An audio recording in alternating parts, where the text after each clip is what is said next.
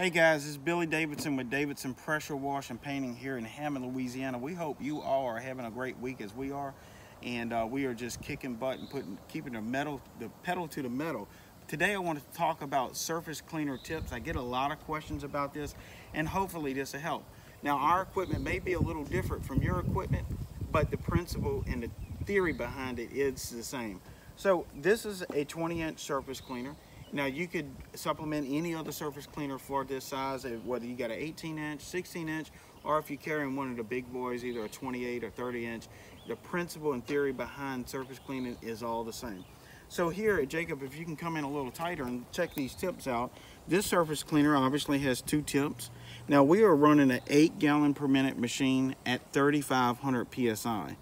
So let's repeat that really slowly. At 3,500 PSI, our machine will produce eight gallons per minute. So what does that mean? We are splitting the 3,500 PSI between these two tips. So you're at 1750 now at four gallons per minute each tip. Now, also the other caveat about these tips is the apex of the degree that these tips produce. These right here are probably 15. Now, what I want to talk about that, if you are doing heavily soiled concrete, these tips would be optimal for that. You would have a 15 degrees. That would be the V spray pattern that comes out. Um, that would be the first number, 15. And then like these tips would be a 04 for four gallons per minute each tip.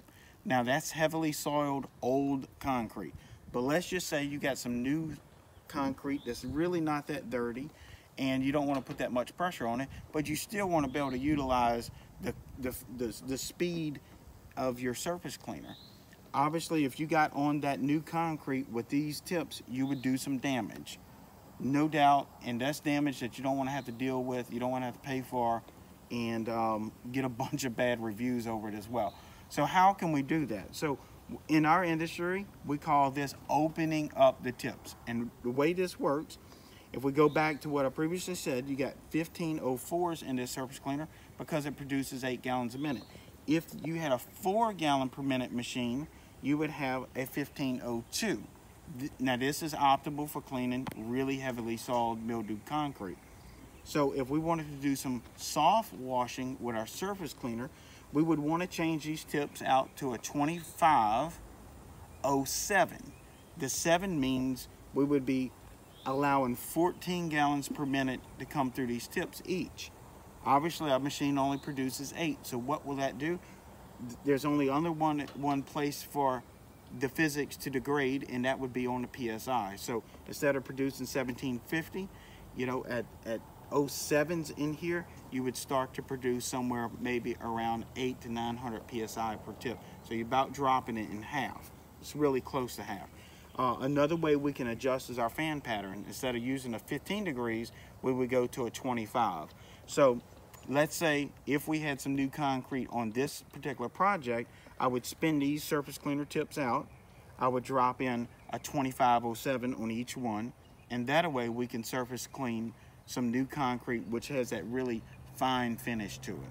So again, just to recap, you want to open up your tips if you're doing new concrete, maybe close to double the tip size. So if you run a four gallon per minute machine, instead of O2s in your surface cleaner, maybe go to an 03 or an 04 and then open up your tip again by using a 25 degree spray tip instead of a 15. So the numbers that we're looking at, again, is 15 degrees is your spray pattern and 04 is your gallons per minute. That would produce eight gallons a minute. If you got a four gallon machine, you just do that division there. So anyway, I hope this helps. Another little quick tip, expert tip I want to tell you about. If Jacob can come in here tighter again, when you lining up these tips, these are a little beat up, so these need to be changed. You definitely want to line that spray tip up very even with this spray, par, spray bar. That way it gives you optimal cleaning width on your surface cleaner. I have seen some of the guys out there that has these tips a little bit turned, maybe at one o'clock, you know, to 7 o'clock instead of at 12 to 6. So make sure they are straight up and down, 12 to 6. Same thing on this surface cleaner tip as well. Straight up and down even. If they're cocked sideways and any degrees variation, you're going to cause yourself a little bit more hassle in trying to clean. Also, want to spin this around real quick. If you're getting a new surface cleaner or if you're in the market of a new surface cleaner, I want to make sure that you're looking for one with an Alemite fitting in it. This would allow you to put some grease in it, a grease fitting.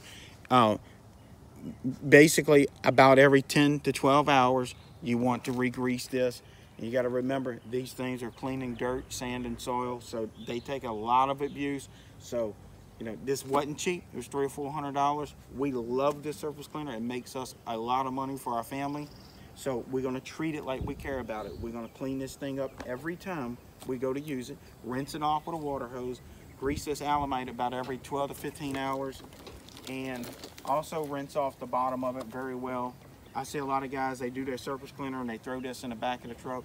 Hey, it's just what you wanna do, do it.